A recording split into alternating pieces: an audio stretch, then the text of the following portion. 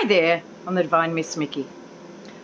Um, I had a very honest, very candid comment that made me stop and go, wow, yes, I actually can learn something here. And so I'm going to put it out there now that Becky, I am so grateful for your comment. Um, you have nothing to worry about. That was such a beautiful, honest, constructive criticism, and that is how we we work together. You see, I can't see, you know, how other people feel about what I put out. So the comments and the constructive criticism is valuable. Which gets me to um, I'm going back to what I originally wanted and thought, and then it kind of took on a life of its own. and that is about keeping my videos as short as possible. Because, you know, I know, I know how I am myself, and sometimes the really long ones, I'm interested in the subject, but either I haven't got the time or my brain is just not functioning for me to take it in. And, and it's like, hmm, yeah, my videos were getting quite long. And it took a long time for me to post them, and I was exhausted at the end of them. And it's like, you know what? I needed that kick up the butt. I really did. So it's like, okay, how are we going to work with this? How are we going to do right by me? How are we going to do right by the, the listeners, the subscribers? How? And get the messages out that clearly Spirit wants people to hear. I mean, it's not going to be for everyone, but there's going to be people that are going to go, I really needed to hear that today. So, the weekly numerology tar uh, tarot oracle readings are going to be daily. And I thought, oh, gee, that, that could be me, meaning I have to do them every day. And I stopped and I thought, well, no. One or two days a week I do a set number or whatever my energy levels will let me do. And, and I just stagger their release so that they're not all out at the same time and I'm learning. I'm really learning. This is wonderful. It's exciting when you learn and discover and you see new things. It's really exciting. So um, that's that's what I'm going to do. Um, and it will start. Uh, I think the other one finished the second of May was the last one. So about the second of May, they will start coming out daily. That then also gives me more energy to do more of what I want to do. And so it was like that one comment opened my eyes and I went, wow, yeah, I can see that. Thank you, thank you, thank you. And I am I am humbled and I am grateful. So I do listen. I do see the comments.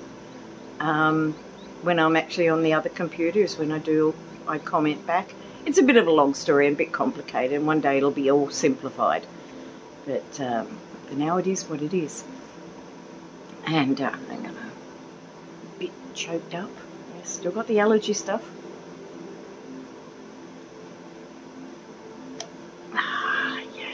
Beautiful. My tea is peppermint and an ashwagandha and tulsi blend. So yum, with a little bit of rice malt.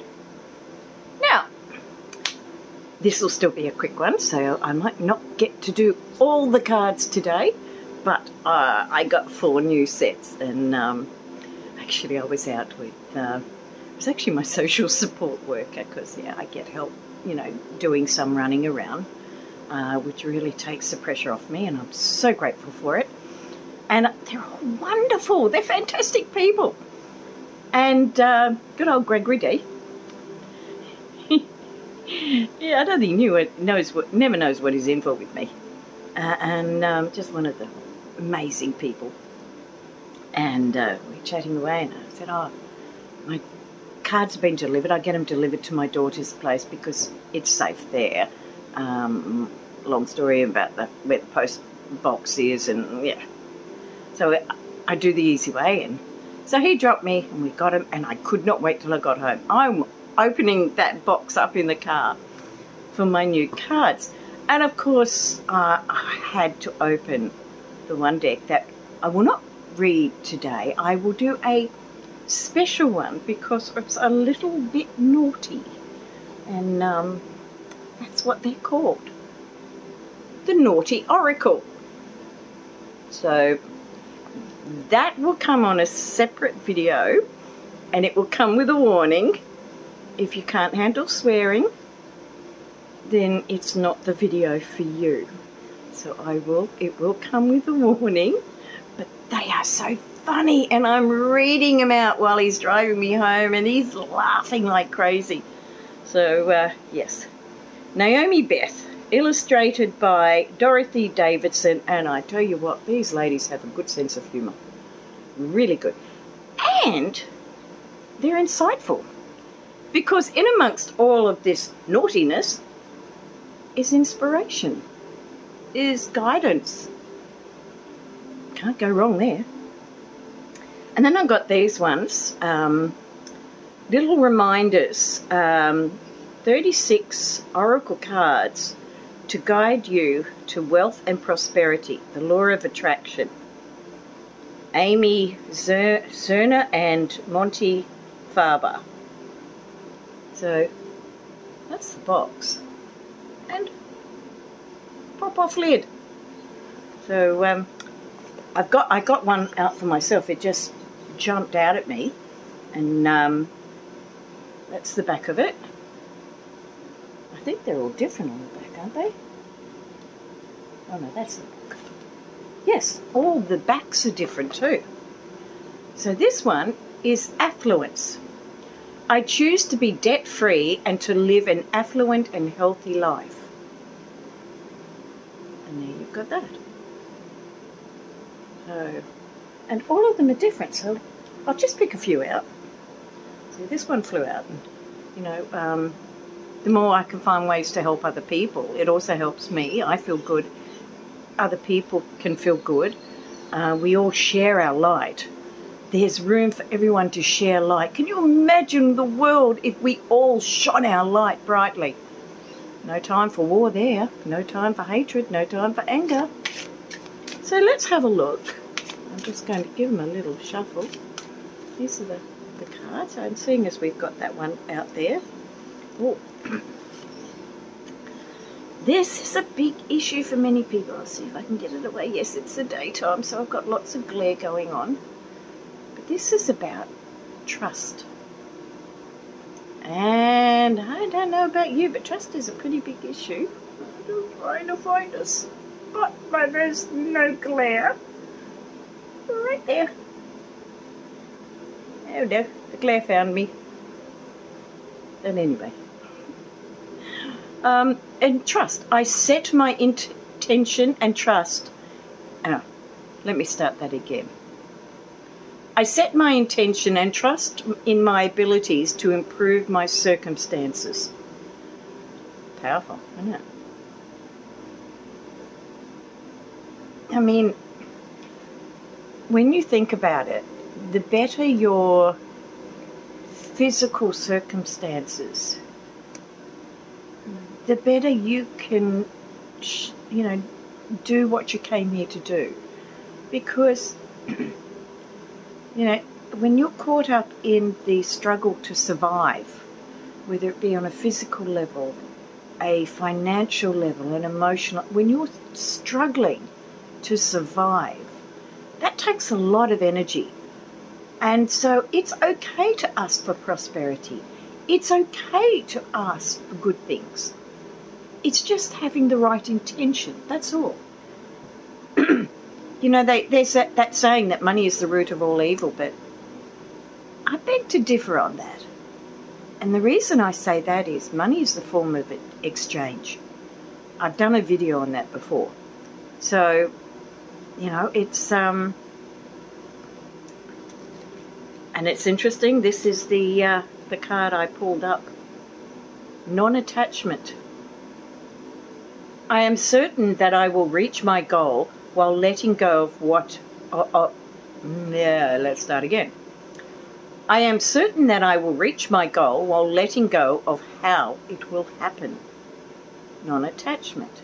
And non attachment is also, you know, not being caught up in the hows, the whys, the wheres, and the how much. Um, and let it be as it's going to be. There's a lot there. Let's do one more. And it just popped out and it's awareness. Beautiful pictures. I don't know if you can see that there. Awareness.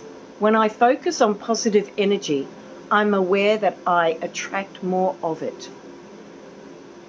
And that covers, that encompasses so many areas of our life. Trying to find, no, no, no. I've got to remember, turn off the salt lamp if I'm going to do it night, at daytime, because it's directly over the other side. So, these little gems, Law of Attraction cards, they're fantastic. So that's the box I got. and these are really beautiful. Buddhism Oracle. I've always had an interest. I, I don't belong, oh, well, I don't. I don't believe in any one doctrine. Um, I kind of, it's whatever feels right. I have a very, very strong Native American soul. I may have been born in Australia, may have been born white this time, but my soul has had a lot of lives. Pardon me. That didn't blow you away. When it hits, it hits. Hmm. She's not asleep. Before we go into the cards, come here. Stop licking your butt.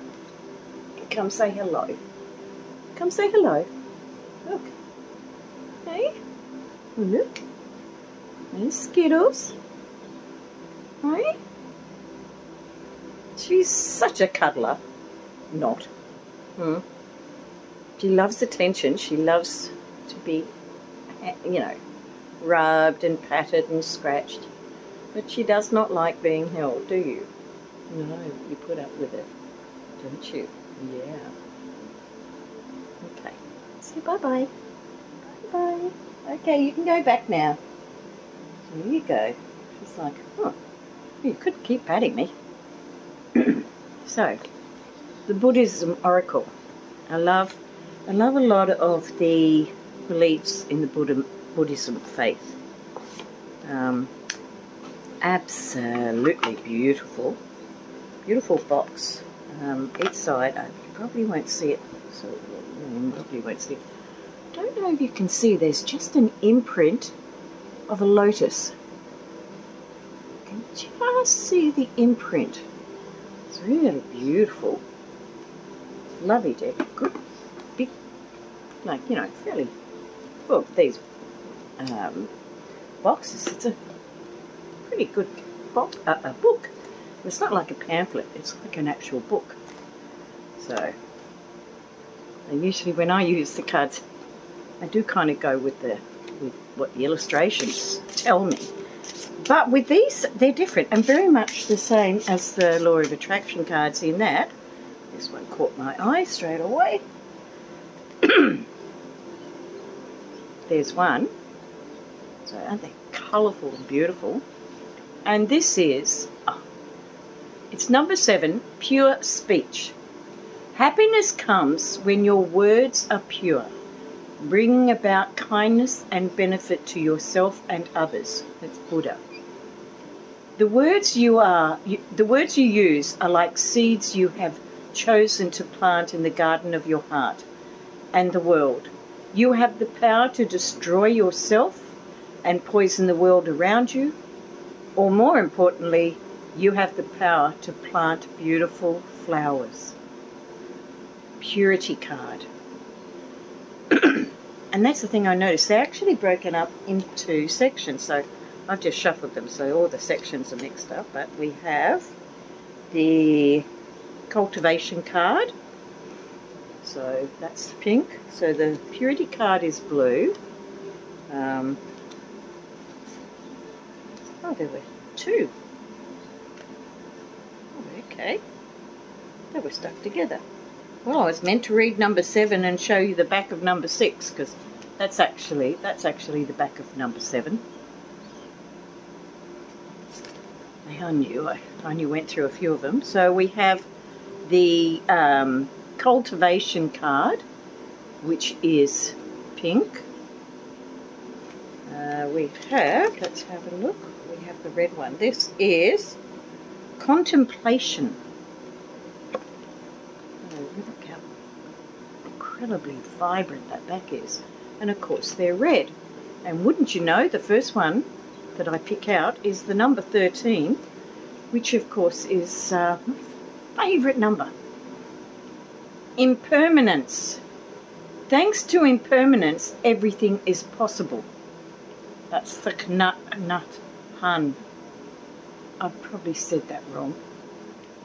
When you can attempt, when you can accept the impermanence of life, that everything is subject to change, and that everyone will experience the ever changing nature of life, you allow your faith to be renewed, hope to blossom, and every moment becomes precious.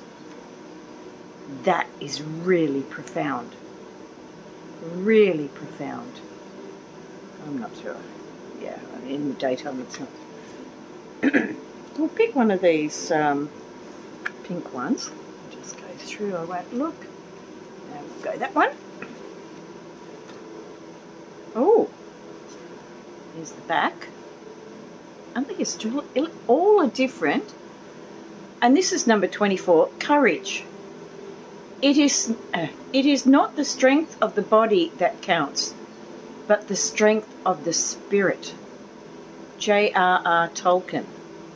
Courage is a spiritual strength, taking you beyond all fear and resistance to remove internal and external blockages on the path. Hmm. That's so true. I never re- I in my life I have never realized quite how strong I am until I face big challenges. And wow, I may have come into this life with a lot of challenges, but boy, did I give myself a lot of strength. And I'm very grateful for my soul, to my soul, my inner self, for doing that. So, and I think there's one more. We've got purity, we've got that. Oh, yes, the yellow. We'll do this one. Okay, just came up. And the last section, because it's broken into four segments, um, which I gather you could either do them separate or do it together. And this is attachment. So these cards are truth card. And truth the focus of this video, truth card. And it is number two, attachment. Attachment to desire is the cause of suffering. Hmm. Attachment to desire. It's okay to want and desire things. That's okay. But it's the attachment to it that makes a difference. Attachment arises when we want something different from what we are experiencing right now, right here, right now. This ever increasing list of unfulfilled desires causes us to experience discontentment and disconnects us from living simply in the pure joy of the present moment. now, there's kind of a grey area there because a person can desire health. That's something I desire, good health. I'm working on it. You can desire a healthier home, which is what I desire you can desire a car that's not going to break down while you're on the way from A to B. So it only gets to A plus. you you you know there, there there's logic, there's logical desires, and it's like yeah, well that that will actually help me be able to do more for myself and for others. And then there's attachments that are I just want to have more and more and more and more. So I'm kind of looking at the grey area there. And I think that's important with all these sorts of cards. No, don't just take them black and white. Look how they can be woven into life because life, as I've said before, there's many shades of grey. More than 50 shades of grey in life. So, these are the Buddhas, the Buddha, the, the, the lid, Buddhism Oracle cards. Beautiful cards, absolutely beautiful. So, look the gold on there, they're just beautiful cards. So, and then the last cards I've got, again Buddhism, uh, Buddha Wisdom. And this is the Divine Feminine. And uh, the Heart of Kuan Yin, and it's by Sophan Chan And I already went through and had a look at these. They're your little cards. They've all got that on them. So they're all the same, but it's what's written. So I'll just shuffle. Just notice the time, so we're going to keep this short. And um, I'm just going to find, we'll just take the top card that comes up. Compassion does not see the faults of others. It does not see the weakness of people. It has no ego. Hmm. Now that doesn't mean we can't do constructive criticism, just as Becky did for me, because that helps us grow. It helps the honesty um, of another person can help you grow. As long as it's done constructively, and what Becky did was very constructive and very honest. I like honesty. Um, none of us are perfect, and we're all here growing together. And she gave me that perfect kick up the butt, and I am very, very grateful. So, you have seen my cards. They are going to be used along the line. Um, I'm going to look at ways of changing things up more um, and giving a lot of thought and um, and let's see where it goes. Uh, I think we're on a new a new path, a new journey together. A lot of the same things, but let's condense things a bit more. I think that might be a good idea. So, my love to you all. If you like this video and any of my other videos that you've managed to watch all the way through, thank you um, then again, like, subscribe, comment, please. If you've got anything that can help us grow even bigger together, please do. Share. Let's get the algorithms moving. And uh, let's get us moving. And, and check out some of the other amazing readers. If you haven't already, most of you know them all, or at least a lot of them um, and the amazing community we have here on YouTube. And um, after a situation on Facebook I had this afternoon, I'm sort of like, yeah, YouTube is my home. I have dear friends on Facebook, but YouTube, I have so much love, so much welcoming energy. It's beautiful. So let's um, let's be part of this. Okay, so I'm gonna bid you adieu. I'm wishing you lots of love. I have kept this to just over 20 minutes, just under 25. It's about to turn 25, so I'll quickly hurry up before it turns to 25. I'll catch you later. Bye.